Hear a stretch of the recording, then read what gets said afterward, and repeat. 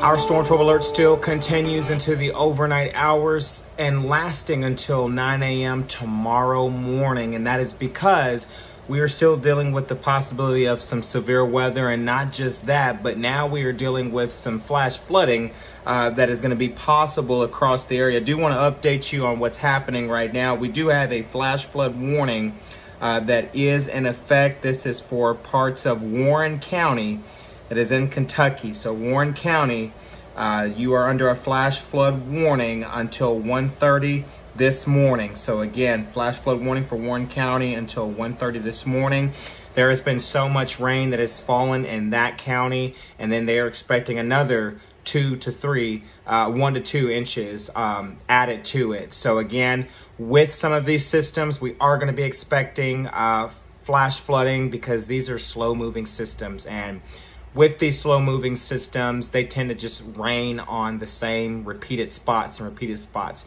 And the ground is saturated, and that's going to be enough to where the ground is not going to be able to handle all of that. And then that's going to create flooding. Got had a video out in uh, Twitter a little earlier from Warren County. Uh, prayers go out to them as well. Like I said, we just have one severe thunderstorm warning that is on this on the list right now.